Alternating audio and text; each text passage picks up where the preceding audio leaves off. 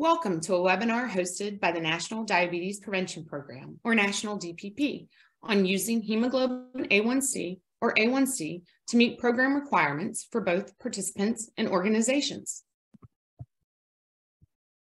Agenda. This webinar serves as an overview on the use of A1C values within the National DPP.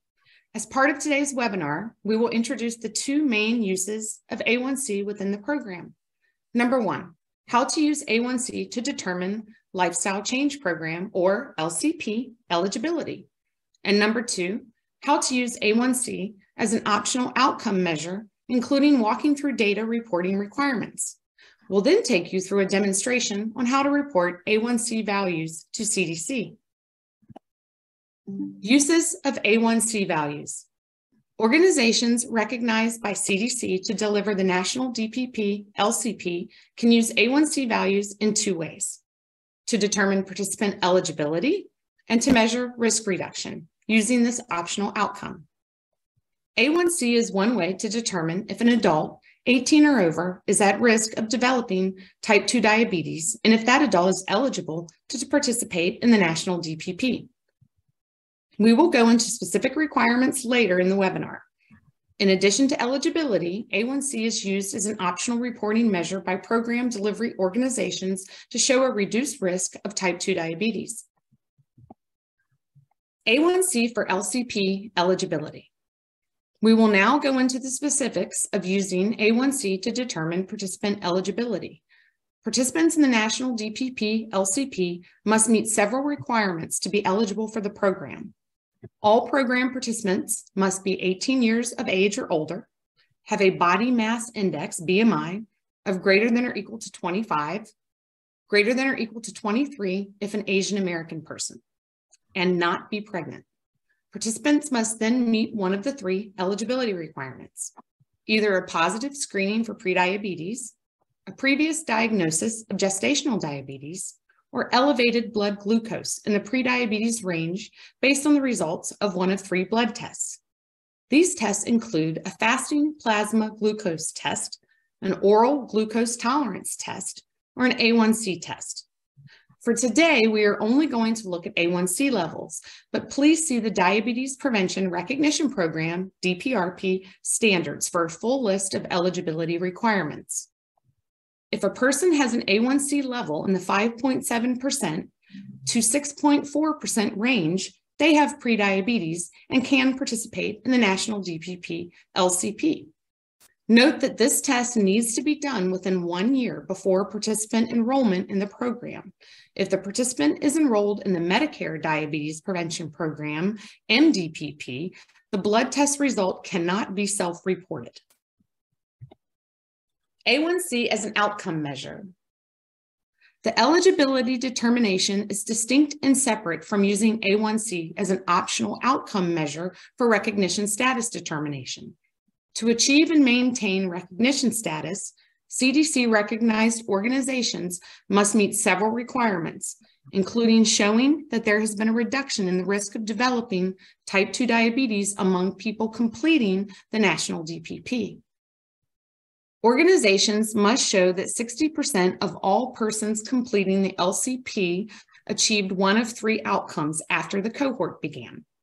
At least a 2% reduction in A1C, a minimum of 5% weight loss 12 months after the participant cohort began, or at least 4% weight loss combined with at least 150 minutes a week on average of physical activity. All three of these measures show reduced risk of type 2 diabetes among participants.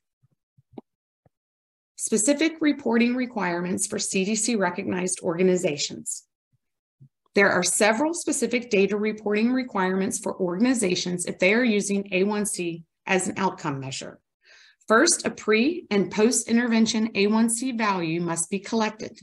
These values can be self reported except for MDPP participants please visit the Centers for Medicare and Medicaid Services, CMS, MDPP website at cmsorg.force.com forward slash MDPP for more information on MDPP requirements. If no beginning or ending value is recorded, organizations should use a 999 as a default value and not use A1C for this participant. If choosing to include this information, the pre-intervention or baseline A1C measure must result from a test taken within a year before entering the program and be reported within 14 days after the first session attended by the participant. Baseline entries must be in the prediabetes range of 5.7% to 6.4%. The ending or post-intervention value should be collected and reported before the final data submission for each year of the program. Post-intervention A1C measures must be recorded in months 9 through 12 to be used for evaluation. To determine the date of your last session, organizations can use the Understanding and Managing Sequences resource and webinar on the National DPP Customer Service Center CSC website. Once final data are submitted, CDC will determine if participants met the 0.2% A1C reduction. One final note, A1C can only be used with data submissions under the 2021 DPRP standards going forward. CDC will not allow the retroactive addition of A1C values on previous data submissions under previous versions of the DPRP standards. A1C reporting demonstration. Organizations upload and submit data to CDC using the DPRP Data Submission and Administration Portal. A data entry spreadsheet template in CSV format is available on the CSC to help with the submission. The top row of the template contains the required variables as column headings. The column labeled A1C is where you will enter the collected A1C values. To prevent errors from creating a flag in your data reporting file, the pre-intervention entry should be in the range of 2.5 to 18, or 999 if the value is not reported.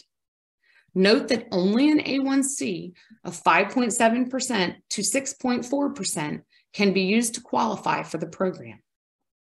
Even if your organization is not reporting a pre-intervention value for a participant, keep in mind that cells in the spreadsheet cannot be left blank. The post-intervention value should be associated with the session held in months 9 through 12 of the participant's timeline and can be either within or below the prediabetes range.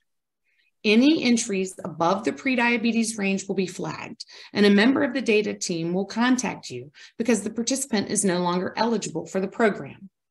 Records for sessions held in between the reporting of the pre and post intervention values should have the default value of 999 entered.